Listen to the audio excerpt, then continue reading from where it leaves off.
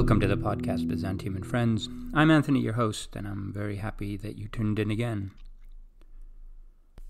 I think it is safe to say that about a hundred years ago, Western European scholarship on what had very recently been renamed Byzantium was mired in fantasy and delusion. Prevalent paradigms included race theory, uh, French decadence theory, Orientalism, the newly discovered imperial idea, which is a theological, metaphysical interpretation of a historical society.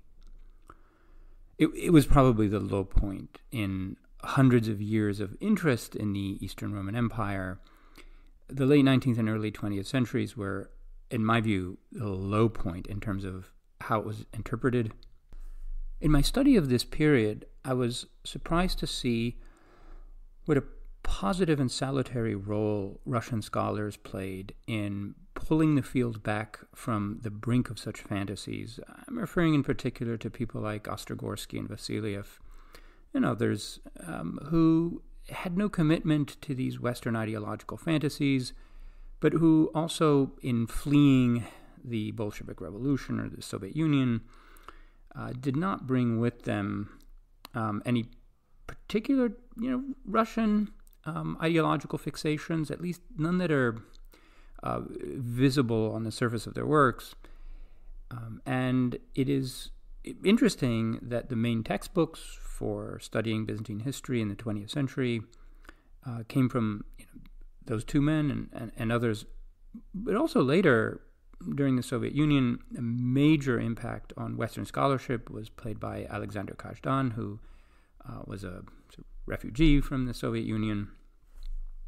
Uh, this, this, is a kind of pattern of um, excellent Russian scholars who leave Russia, um, not under the best circumstances. And there's a group who have left now in the current, uh, during the war and current circumstances in Russia. Having said that, among non experts, Russian um, culture and especially political ideology are prone to generating uh, their own fantasies about Byzantium and very ideologically motivated uh, uses of it to promote current projects.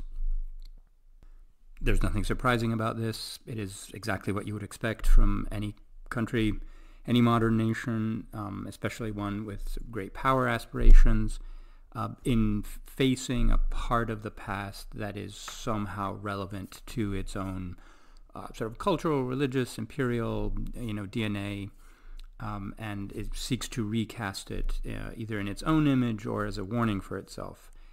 Just think of, you know, the complex relationship between the United States and the quote fall of the Roman Empire, which generates such an enormous amount of nonsense, um, especially online. And it is also online that you will find the most avid champions of the idea of sort of imperial slash modern Russia as a kind of heir or continuation of Byzantium, the third Rome, Rome model, and, and all of that. In reality, there's very little evidence of a closer connection between imperial Russia and Byzantium than there was between France and Byzantium. Uh, all Christian countries reuse the same kinds of motifs or turn to the Eastern Empire in part to find you know talking points and accessories that they need in the present. But I don't think there was a very much closer connection between Russia and Byzantium. Uh, even on the point of orthodoxy, which sometimes would be stressed more, of course, uh, but for the most part, uh, Byzantium was seen as a, a warning case. Uh, you know what goes wrong because of the last-minute union with the Catholic Church. So as a kind of failed Orthodox state. It is, in fact, only in recent times that this imaginary construct of Byzantium as a kind of template for Russian imperialism, Orthodox fundamentalism, uh, and so forth has really gained ground. And only in some corners of either the popular media or politically sponsored propaganda. And it is this phenomenon that we will be discussing today. My guest is Eugene Smelyansky, um, at, a historian at Washington State University. And he has recently published a, a brief and accessible, uh, very clearly written book on medievalisms and Russia The Contest for Imaginary Pasts. Uh, was published by Arc Humanities Press just now, a few days ago, I think. Uh, and this is a book about Russia, more like contemporary Russia, but looking back to you know its roots sometimes in the 19th and 20th centuries, um, and its engagement with the medieval past and instrumental use of it. And some sections of the book deal with Byzantium from this point of view, and we focus on those. This is a very important contribution, in part because it fills out on the Russian side a discussion that is uh, very much uh, more developed on the Western medieval side. That is the way in which uh, Western European countries, also the United States, have redeployed the uh, medieval past as part of their you know, current conversations and um, you know, cultural projects. And this whole kind of creative re-engagement with the Middle Ages uh, often goes by the name of medievalism. Um, and so this is Russia's medievalism. And we're going to talk in particular with its well, what we might call Byzantinism, that is the kind of reinvention of Byzantium to serve contemporary um, ideological needs. Eugene has looked at everything from uh, you know, books and pamphlets to videos and exhibitions and documentaries or documentaries in quotation marks uh, and political speeches and so forth. So it's a very, very well rounded um, and diverse picture that he presents here of all the imaginary Byzantiums that one can encounter, you know, traveling along the byways of uh, current uh, Russian popular culture. Okay, let's get to it. Uh, thanks to medievalists.net for reposting these episodes. Uh, here's my conversation with Eugene. Eugene, welcome to the podcast. Yeah, thank you for having me. Can you tell us first a little bit about your own core research, which I understand is somewhat different from um, what's in this book, and and how you came to write this book? Of course, um, and it's it is really different. Uh, I was trained as a historian of uh, late medieval Germany. Um, I uh, largely focused my my first book, and then I, I also published a collection of primary sources that uh, focuses on religious persecution um, in towns and kind of intolerance and persecution in uh, medieval Europe, largely Western Europe uh, in general. Um, and, uh, you know, it was one of those things that I was always interested in. I grew up in uh, Ukraine, in Odessa on the Black Sea coast. Um, and I have family ties with both uh, in in both Ukraine and, and Russia.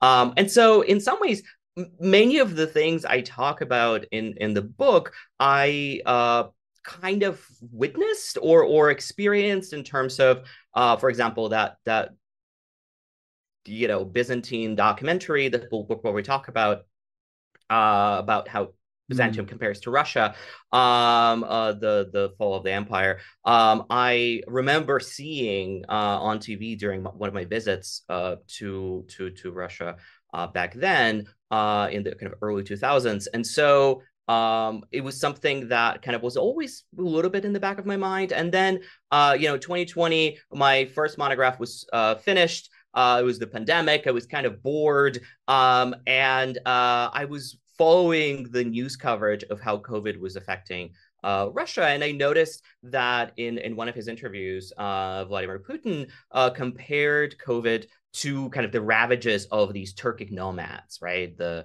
hmm. um, mm. uh, the the the uh, Cumans and and and and and and Pechenegs, um, and uh, that really. As a medievalist, I was like, "What is going on there?"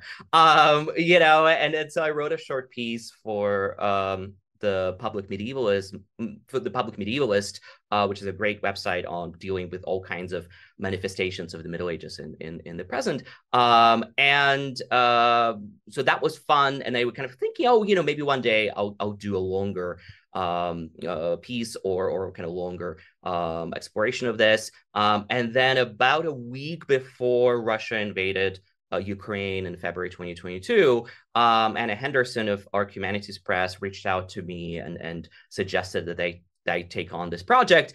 And I said yes and started putting the proposal together. And then the invasion happened, and I and I kind of felt like, well, now I have to do it because there's just so many um, uh, so many uh, kind of interesting uh, you know, ways in which uh, I think the the kind of current uh, Russian political climate um, uses the Middle Ages, and, and I wanted to explore that in more detail. I remember that claim by Putin about the Cumans and the Pechenegs, in part because like I work on the Cumans and the Pechenegs, and I know that you get no mileage from mentioning Cumans and Pechenegs in Western discourse. Like, so I was intrigued by what like what public discourse exists in a country where Cumans and Pechenegs are like a reference that you can meaningfully make. Anyway, we'll get to that. Um, but can you first tell us what are medievalisms? Because this is a sort of relatively technical term. So, what spectrum of topics does research on medievalism encompass, and what is the range that you primarily cover in your book? Yes, uh, and that's a really it, it, it is a term that um, I think to yeah non-specialists can be a little little puzzling uh, because it's it's essentially uh, medievalisms are kind of examples of reception of the Middle Ages after the Middle Ages were already over.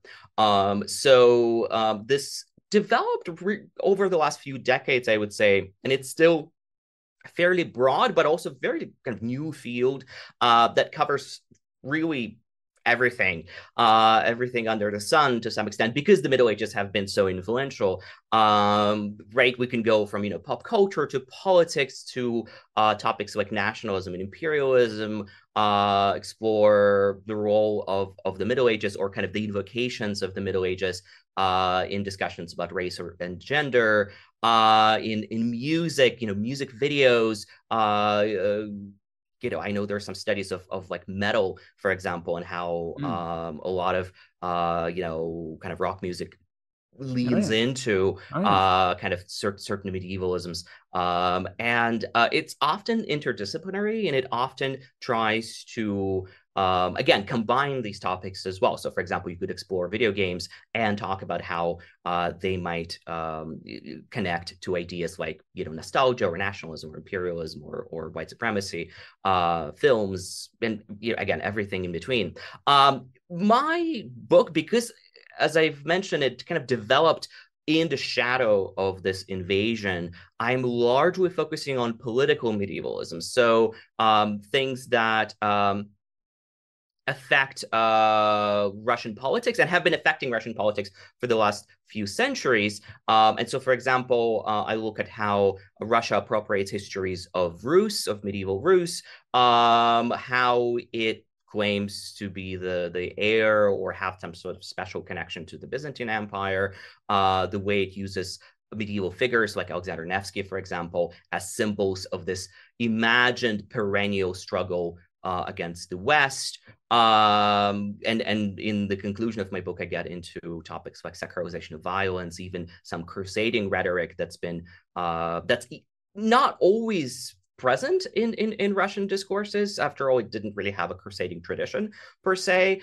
but um, has been kind of borrowed, ironically, from the West um, and is uh, being used um, the kind of sacralization of violence uh, has been used in in the recent invasion as well. Yeah, it's important to stress that medievalism sort of encompasses a very, very wide range of research areas.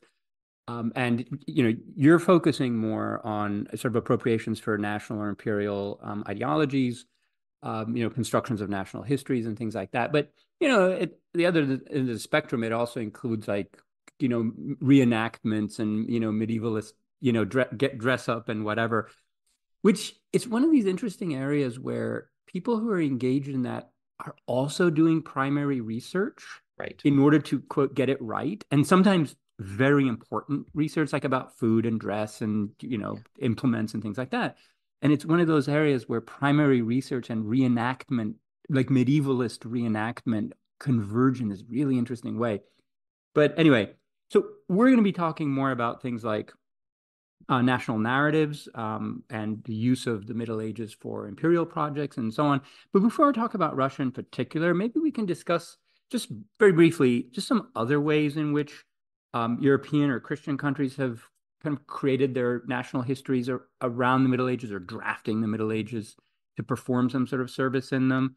Um, just to give a range of the to, to, to give a sense of the spectrum of of potential that exists here Uh, and you do you have any? I mean, you worked on medieval Germany, so you must know German case as well.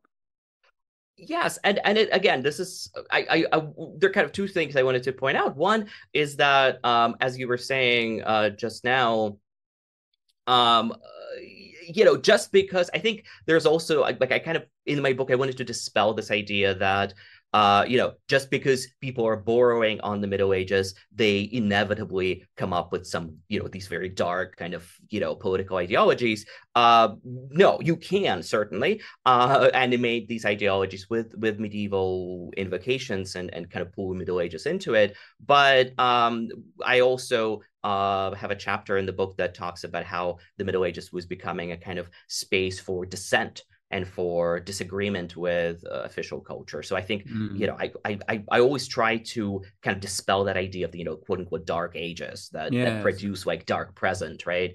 Um, so um, yeah, and then to answer your question, um, yes, there's there's a lot of, of really uh, a lot of examples uh, all over Europe um, and even in North America, for example, uh, in in North America, just since I mentioned it, uh, we know that like in the 19th century, both before the Civil War and after the Civil War, uh, in the uh, American South, uh, there was this obsession with the Middle Ages. They saw, um, you know, the planter class, mm. especially, imagined themselves as these kind of lords of the manor.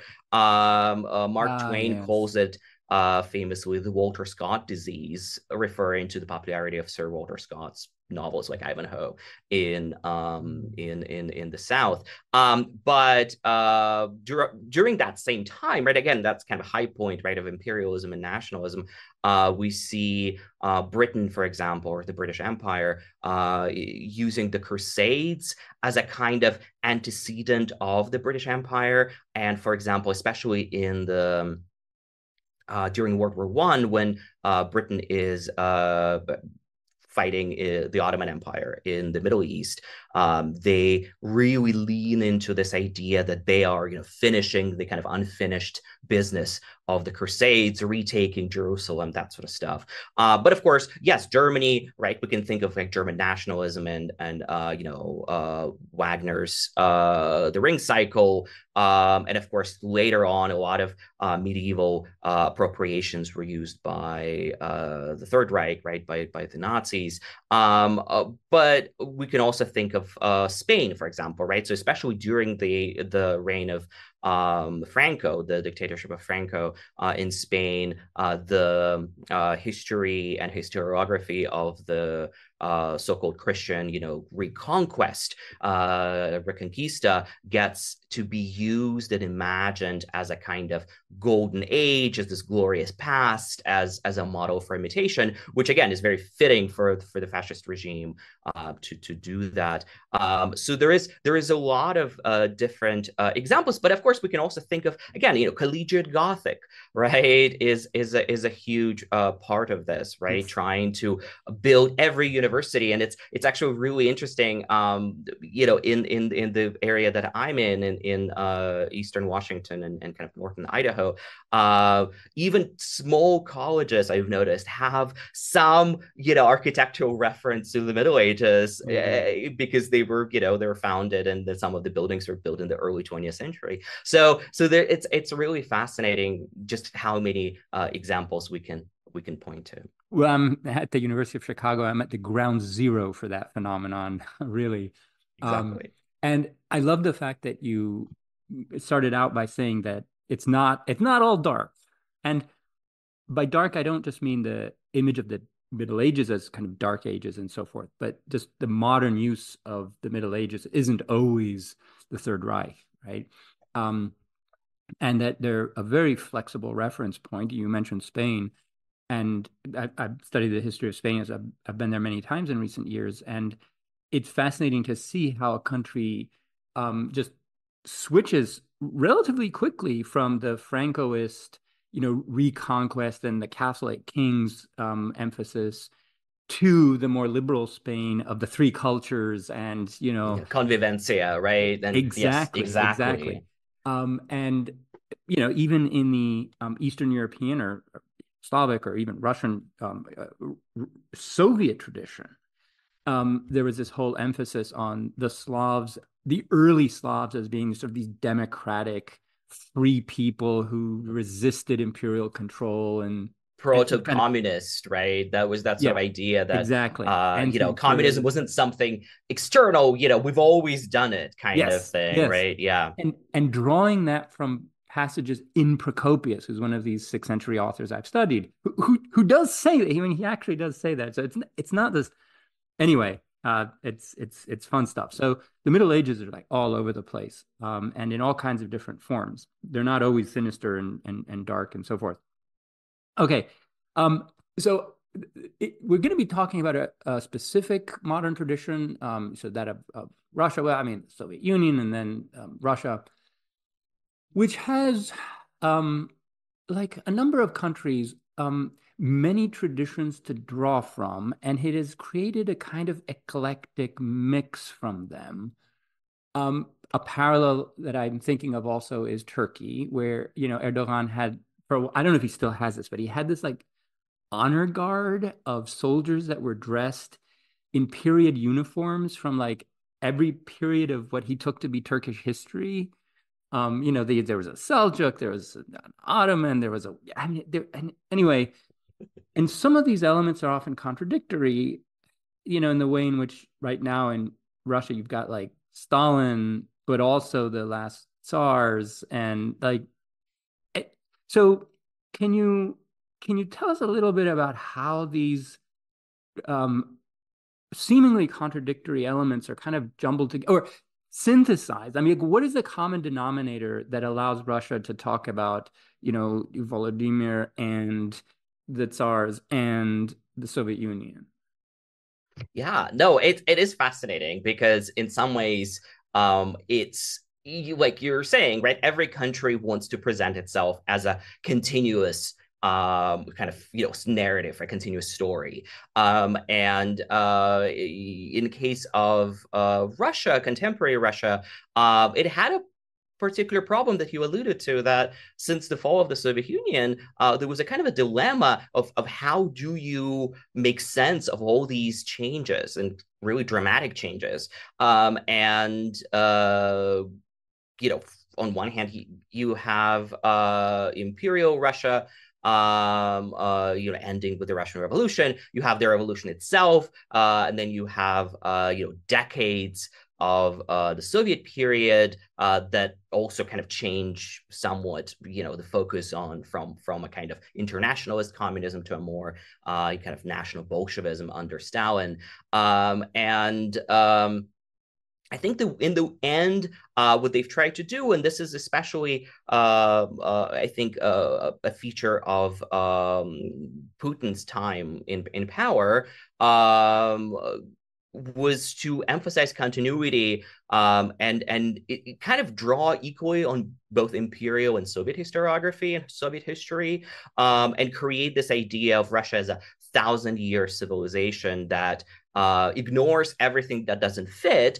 but foregrounds certain common themes. For example, uh, you know, submission to the state and this sort of cult of the state, cult of mm. power, cult mm. of tradition, as opposed to uh, the uh, you know individualism, for example, um, or again that that very kind of long tradition of, or very long imaginary tradition, I should say, um, uh, of kind of anti-Westernism, where uh, the West and and who is the West changes, of course, from I don't know the uh, you know Teutonic Knights in the in the 12th century to um, uh, you know Sweden in the 17th mm-hmm. uh, or or or 18th um, to I don't know Napoleon to to Germany to what have you um, and so this always this West you know meddling and and and Russia imagined as a kind of um, as as a uh, keeper of tradition right that kind of capital T tradition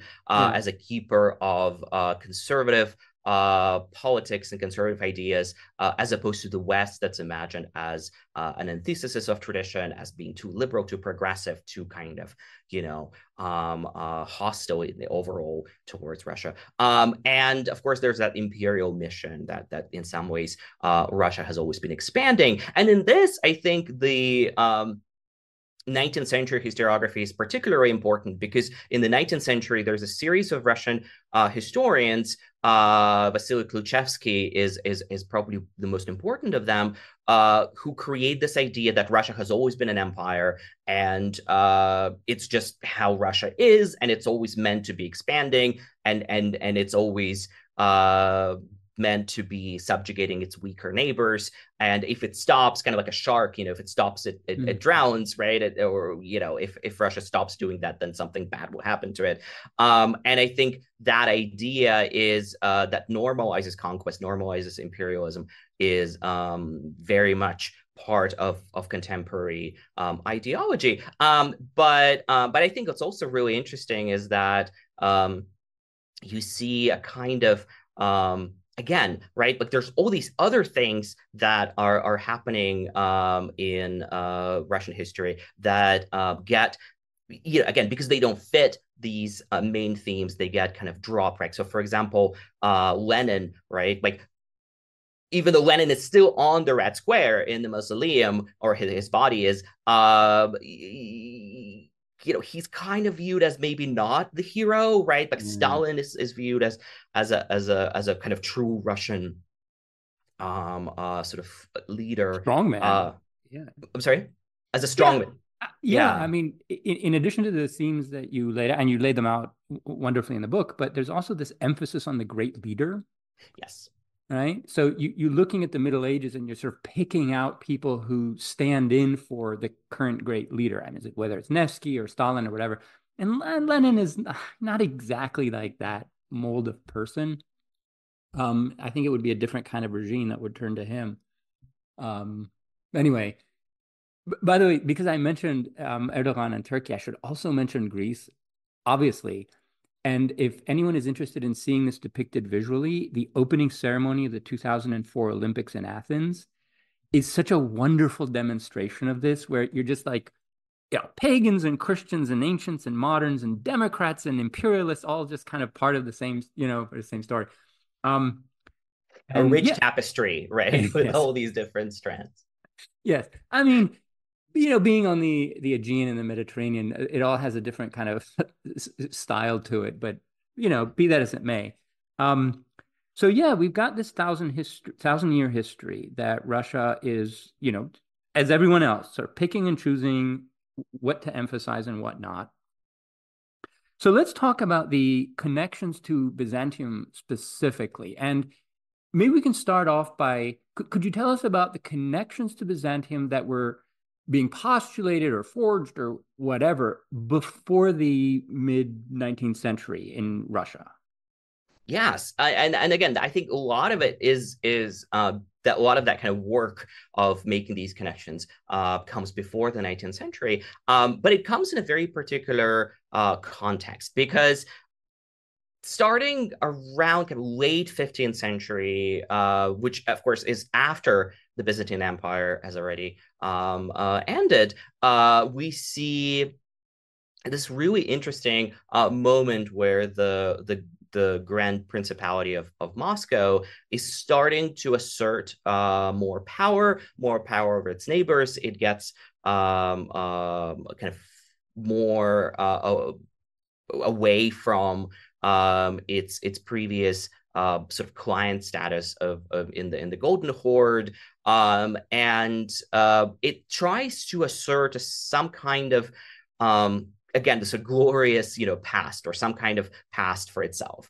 um, especially the kind of past that would maybe get um, European rulers to view this this new principality uh, with uh, more uh, respect and kind of pay more attention to it. And of course, connecting itself to the Byzantine Empire um, uh, made made some amount of sense strategically. And so, for example, uh, we see that um, the rulers of, of Moscow, um, such as Grand Prince Ivan uh, III, and then his grandson Ivan IV, better known as, as, as Ivan the Terrible, um, they keep making these claims uh, to Moscow's and, and, and Rus's connection to the Byzantine Empire. Uh, for instance, um, Ivan III uh, famously marries uh, Zoe uh, Paleologa, uh, the the niece of the last Byzantine emperor, who at that point is a is a kind of refugee, high status refugee in um, Italy. Um, but a lot of this is not so much as uh, oh, we want to be the Byzantines, or we want to have this really kind of firm connection to the Byzant to, to the Byzantine Empire. After all, the empire was already gone, but rather again to create an image of Moscow as uh, a respectable um, um, and and kind of powerful um, state. Uh, we see the same thing happening with the two-headed eagle, uh, which is again is often imagined. Oh, you know, Russia took the eagle from the Byzantines because they imagined themselves as the heirs to the Byzantine Empire. But actually, we see that um, again, Ivan III adopts this two-headed eagle um, not so much from the Byzantines or because of the Byzantines, but rather because he's trying to deal during this time. This is very late um, uh, 15th century. Uh, he's trying to deal with the Holy Roman Emperor. He's trying to have his daughter marry um, the son, the heir of, of the Holy Roman Empire.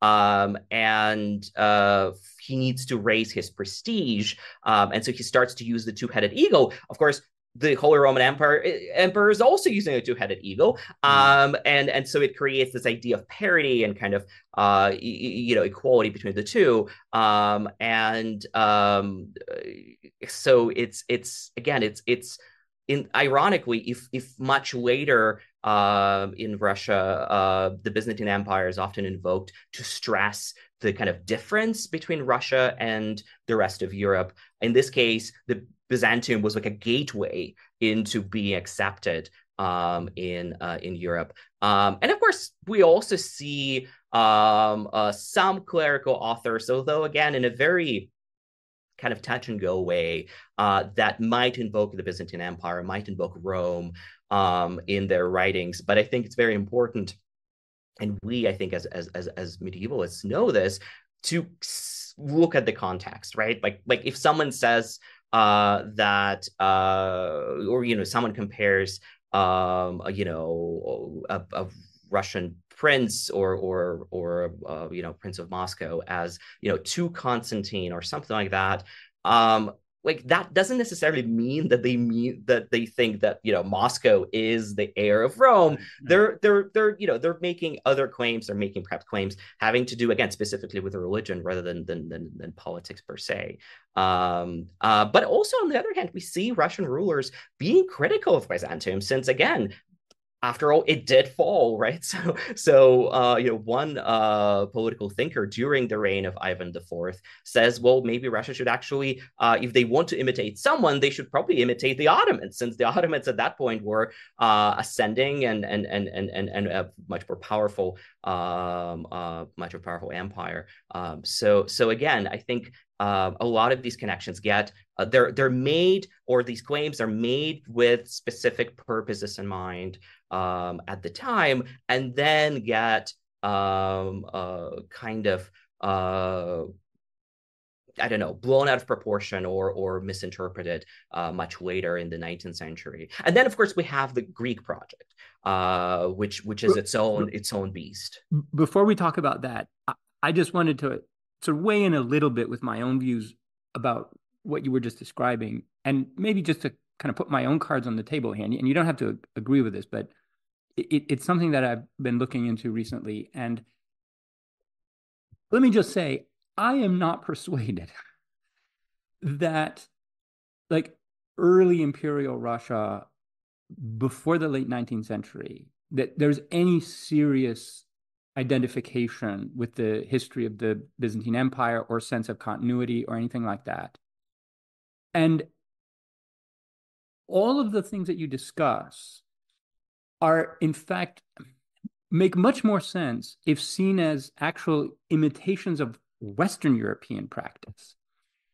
In other words, connections to Constantine are pervasive in Western European thought, political, you know, dynastic, Christian, whatever, at this time.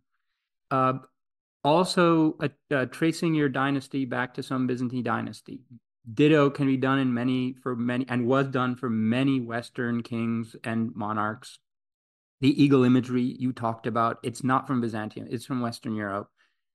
Um, the whole idea of the third Rome, that I, I, think it's more of an internet talking point these days than it ever was like uh, at a sort of weighty, you know, ideological import um, in the 17th century. I simply see no effort to make it real.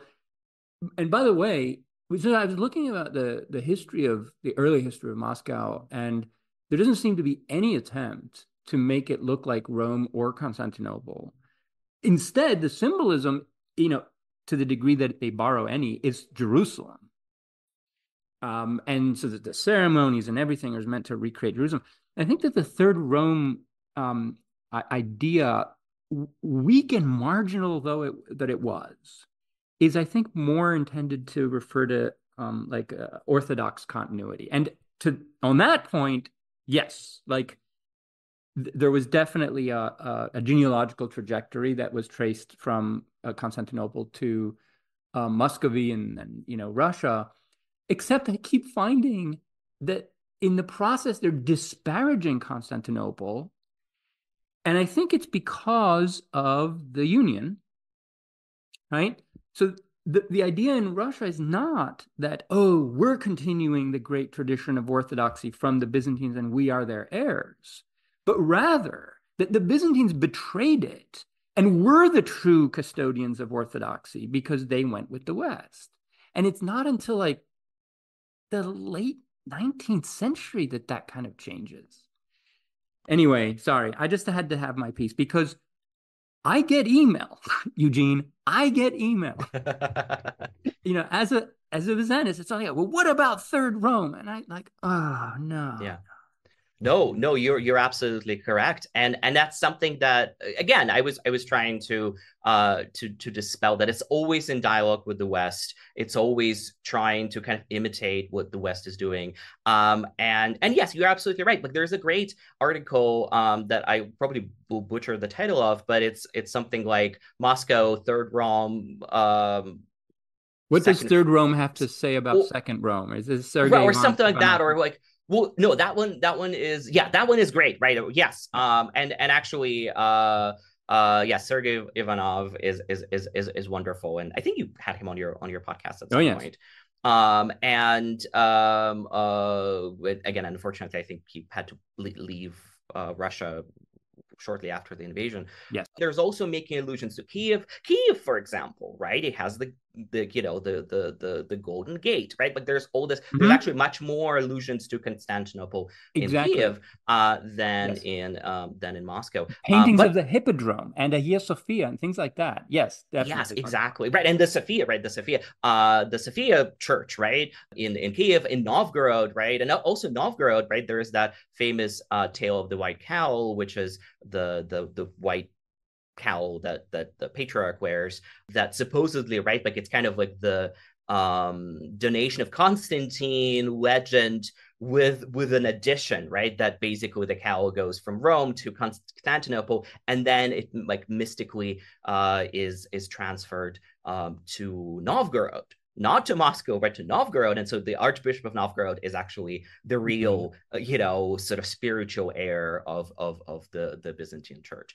Um, so yes, absolutely. and that's I think that's part of it. Is that like in the 19th century, all these allusions get blown out of proportion or or kind of you know twisted to to to align with the then imperial ideology um not as they were back in the you know 16th or 17th century I thought we might talk about Catherine the Great's Greek project, but I, I realize now that might take a bit too much time. And fascinating though it is, um, it it's such a weird idiosyncratic thing that I don't it doesn't lead us to the next topic, which is where I want to go, which is like right now, can you tell us some like current theories that attempt to link Russia to Byzantium? And you, you talked about a was it a documentary or a film right. that was and that has lessons like what lessons are, are Russians or Russian authorities trying to draw from the history of Byzantium?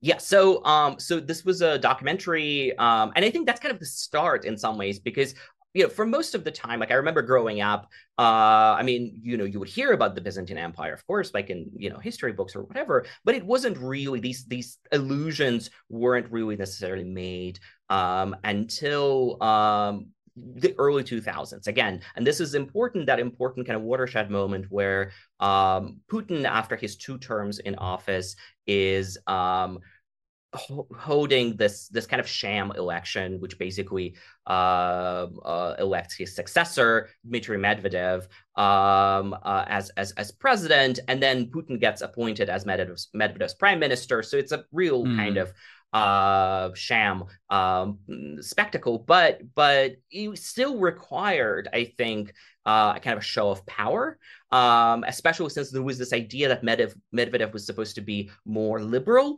Um, and so, you know, you needed to kind of show that no, no, no, like we're not doing that, right? We're still staying the course. Um, and so during that, that kind of few months, so the elections were, I think, in, in March, and and uh, the few months around that, there was a lot of different um, uh, medievalisms kind of popping up. One of which was uh, this documentary uh, called "The Fall of an Empire: The Lesson of Byzantium," um, and it was uh, written and and produced um, uh, by Tikhon Shevkunov, who was the um well he's this sort of cleric right i think he was in charge of um Ascension Monastery, I think, in Moscow. I'm trying to remember correctly, but at the time, but he was also uh, rumored to be very close to Putin. Some said that he's Putin's um, confessor.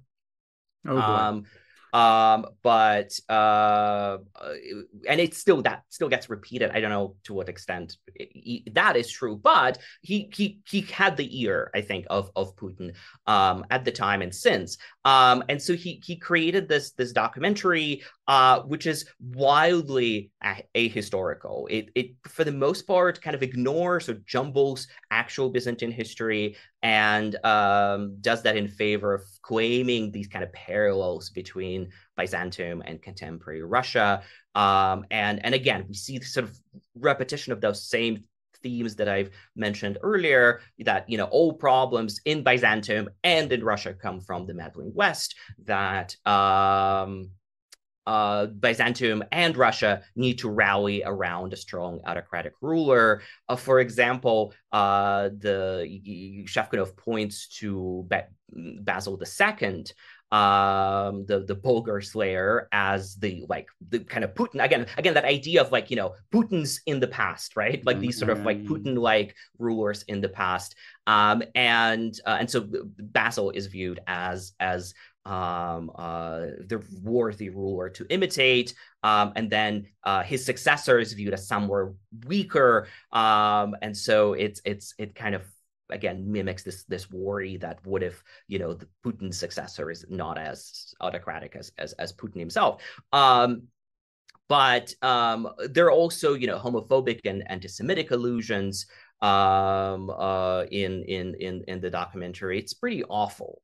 But what's really interesting, of course, it was very critically received by scholars. Uh, again, we've mentioned uh, Sergei Ivanov, who I think written a few review articles of it, um, and and other Byzantinists, professional Byzantinists, I think were quite quite um, um, unhappy with it for very good reasons.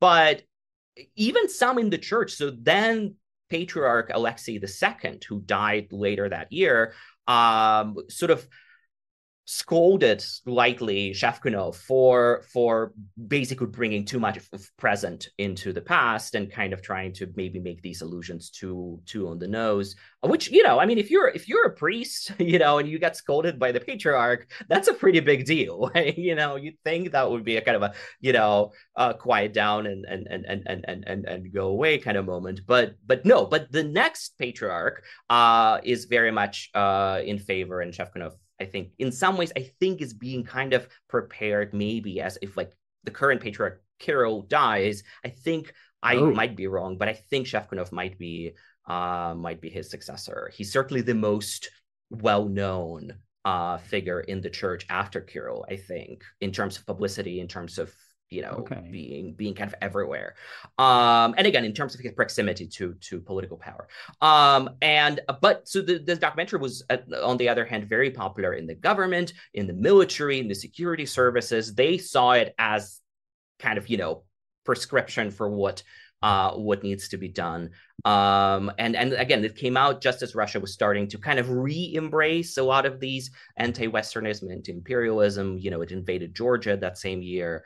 Um, and um, and also, what's very important is that kind of on the heels of that, uh, since the early 20 teens, we see there is a TV station which now is kind of like a multimedia website where it doesn't broadcast, but you can still see things online uh, called Tsargrad TV. And uh, Tsargrad, of mm-hmm. course, is a Russian uh, kind of outdated name for Constantinople, right? Tsar city. Um, and uh, that that TV station, in its kind of ideological statement, uh, points out that Moscow is the third Rome. Uh, it's also bankrolled by um, Konstantin Malafeyev, who is a, this ultra-conservative Russian businessman with ties to Kremlin and to Putin. So, so there is a lot of these very interesting uh, ways in which um, you know the church, or at least parts of, of the Russian Orthodox Church um, and um, um, uh, Kremlin are very interested in again using um, these um, using these uh, very kind of I don't know, tired in some ways connections or or kind of forced connections uh, to to Byzantium, but again to to pretty much reinforce the same messages as they've always done. So I was reading your account of this documentary and or the whole approach to um, the, the Russian approach to Byzantine history as one from which you learn lessons. Um, I was struck by the structural parallel between that and the way in which the fall of the Roman Empire is talked about in the West, uh, much more pervasively and with you know tremendous anxiety. You know, still fifteen hundred years after the event itself, where you blame it on whatever, like the lessons are too many sex orgies or too much immigration or whatever and you always use that to like uh, we got to crack down on the things that we're because we are Rome. Right. This, this is the implicit assumption. We are Rome, and so we got to avoid doing what the Romans did to quote fall. And I, I thought it was oddly similar to that. It's like, yeah, the Byzantines were great because, and we are them, but they fell, and we have to avoid the what they did. Yes, exactly, and that's that's precisely the message. And I think in some ways, uh, at least maybe to uh, you know Shevkunov and to to some people in in in you know who are kind of interested in that, uh, I mean, it's important to remember that like Putin styles himself as a kind of a history buff, and I think a lot of that is informed by by mm. his interests or interests of whoever advises him.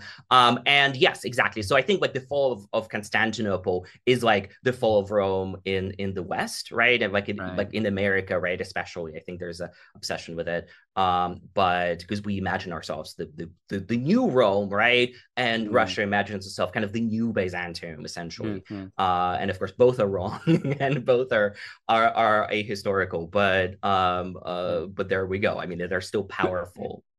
At, at least Washington D.C. is actually architecturally modeled on Rome. like yes, no, that's fair, fair, fair, fair enough. Fair deliberately. Enough. Um, so we're now going to go a little bit down this sort of theological rabbit hole, uh, which is because I, I, get email, Eugene, as I said. I'll tell you later. So, what is the theory of the katechon, and what role does it play in Russian imperial ideology? So katechon is uh, itself a, a, very interesting concept. Uh, it comes from uh, where it's it's used in Paul's letters to I think Thessalonians, um, and in that context, it means a kind of something that restrains the coming of uh, the apocalypse. Uh, or the coming of Antichrist, or, or what have you. Uh, but it's very vague, right? Which of course makes like these vague allusions uh, are always really useful to whoever is trying to to use them in the present. Um, but it it in particular, I think in the 20th century, it gained uh, currency with um, Carl Schmitt, who was a German sort of mm-hmm. early 20th century German uh, political theorist, member of the Nazi Party, um, and uh, who who kind of imagined uh, Katechon as a um, essentially the state that is so imbued with a traditional Christian sort of values, uh, what we might call, I guess, Christian nationalism, perhaps, uh, that it would then enforces these traditional values onto the population, and, and everything is done in accordance to uh, this traditional Christianity. So essentially, the melding kind of of, of church and state together. Um, in Russia, the main proponent of this is Alexander Dugin, um, and Dugin is, I think, of all these Russian ideologues, I feel like he's probably the most famous in the West.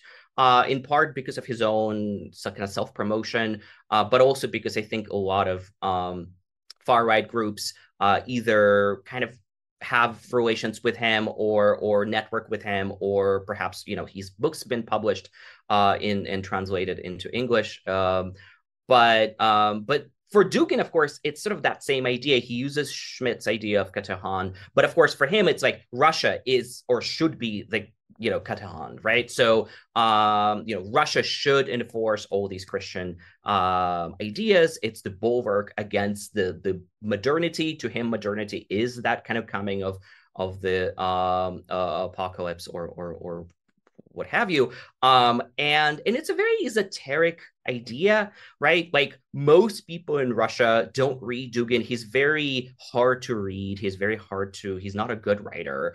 Um, he's very kind of esoteric. Um, but you know, he tries to promote it. There are all kinds of. He gets interviews and there's a there's a website uh kind of media website called uh uh, .ru um which is also sponsored by Malafeyev so it's kind of like you know a more esoteric branch of Tsargrad TV um, and um, uh, so so so there is attempts to promote this idea. And it's also important to remember like like Dugin some news I think New York Times uh, dubbed him like you know Putin's Rasputin or something like that right? Like this kind of you know like secret you know person mm-hmm. whispers in the ear of, of the leader. But um, he doesn't have a lot of direct power I think in Russia uh, politically speaking. But but it's important to remember that that many kind of modern far right movements um, use metapolitics, right? So they use this kind of decentralized power. They try to influence the discourse. They try to influence like national conversations. They try to normalize ideas, and that would make it easier for whoever is in power to put these mm-hmm. ideas kind of through. Um, and so, in that respect, I think I think Dugin is um, has some influence. Uh, but it's also important to remember that esoteric as it is, in some ways, Katechon um, ap- appeals to Russian belief uh, in Russia's special mission just in general, right? There's this sense of exceptionalism um, that, uh, again, often is is viewed through the lens of uh, like the Soviet Union's defeat of Nazi Germany, which, of course, Russia has kind of appropriated and and claimed exclusively for itself. Like if you're if you know if you're studying uh, a, you know, World War II uh, in in Russia as a, as a like a school pupil. Good luck learning anything about uh, you know what else was happening during World War II, except for the Eastern Front. Hmm. Um, and I'm not, I, am not, I don't want to like minimize, uh, you know, of course, the contribution of the Soviet Union no. in this, but um, but it's important to remember that like it gets kind of twisted again out of proportion. Uh, and in general, like there is like the celebrations of of of uh, that sort of um, you know Russian Russian or well Soviet, but like reappropriated as Russian uh, victory in, in the last few decades have been just really kind of just tasteless and and and kind of so so like just like yeah. shocking over the top that that it's it's really um, disturbing. But yeah, so it's a it's an esoteric claim, but it's it. I think it fits the, what people already kind of believe about Russia. So I think it's easier for that claim to to gain some currency with enough you know publicity and whatnot.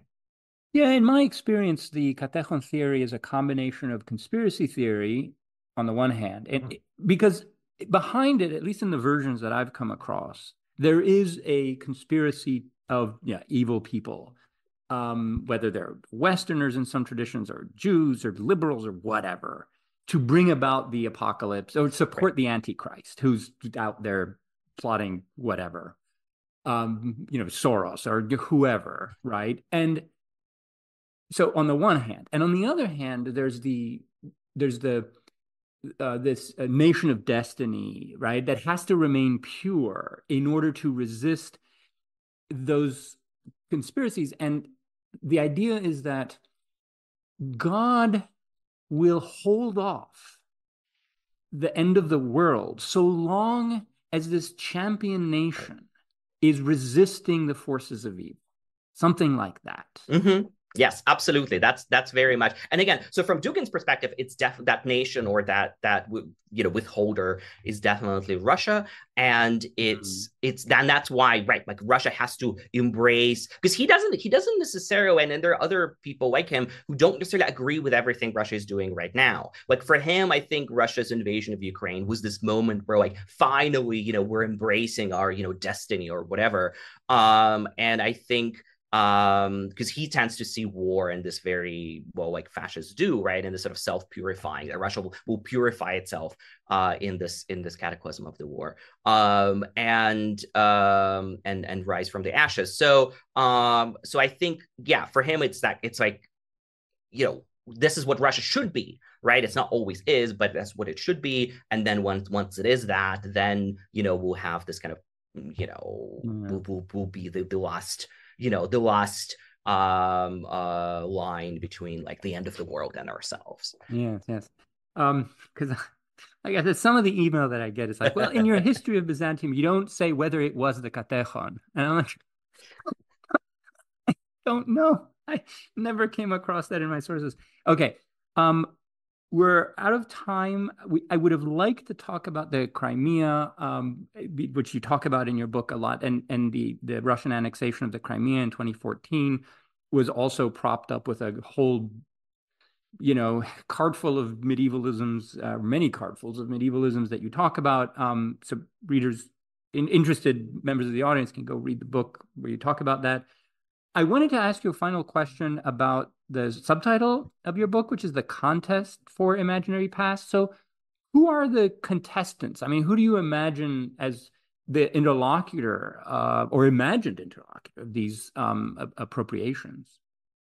So I think I think I mean there might be several interpretations of this. Uh, you know, much like the Katechon, you know, it's being being purposefully vague there. No, but I, am just kidding. But but uh, but yeah, I think to me the way that I see this subtitle um, is that uh, again, despite the claims of continuity or the idea that Russian history you know moves in circles or that there is like a rise and fall and rise and fall all the time um a, I think in the book i try to show that you know these same themes or same examples of medievalisms acquire new different very often conflicting and kind of competing uh, meanings uh, based on historical context. Um, and so, in my mind, the contests, uh, the contests, right? I think it's plural in the title, are between um, the meanings uh, and their past and present uses um, and the way that that actually like again if you zoom out and look at this narrative as it's being presented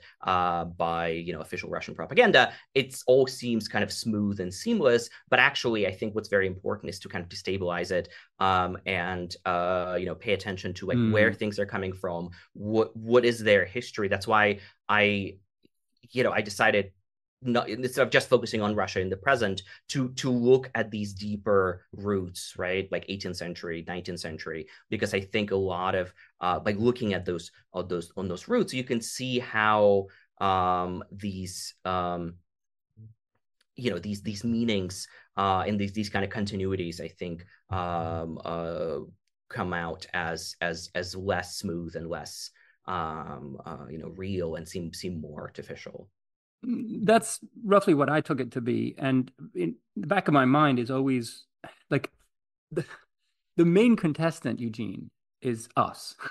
Right. Right. Pro, like professional historians who are not, you know, funded by Gazprom or whatever. Like we're, you know, we have our little jobs in our little offices and we have our sources and we have our training and we're trying to do right by, you know, history. Um, and it's, it's, th- it's such an amazingly unequal struggle, right? When you have such m- massively powerful institutions that have an interest in history being whatever they want it to be. I find it amazing and also a source of optimism that we have institutions that are capable of pushing back against that to some degree. Um, so I see it as a very important, um, you know, mission. Um, and uh, you know, kudos to countries that sponsor that, and they're not all doing a very good job of it at present. Uh, yeah. Um, and anyway, I, will stop there. But um, I, I, take your book to be, you know, as a contribution to that that whole overall contest. So thank you for that. Yeah, and I, I hope that this this continues, right? This topic gets more attention. I think there's another book that came out just a few months before mine, uh, I think called mm. Putin's Dark Ages by Dina Khapaeva, that um, I think I haven't read it yet, but uh, it looks like it's focusing more on on the present day, but it still um, looks at these kind of allusions um, uh, to the past, to the medieval past um, uh, in in the present, um, and uh, and I hope that this this will this topic will continue getting attention. Uh, I know there is a lot of wonderful work being done uh, just in general in the field of medievalism uh, studies uh, in Eastern Europe, as well countries like Hungary that have some of the same problems of history being marshaled to um, um, to to support whatever present day ideologies they have. Um, and uh, yeah, and and and and again, I thank you for for having me. Thank you for uh, helping to get this these messages out to broader audience. Thank you, Eugene, and thanks for coming on to the podcast.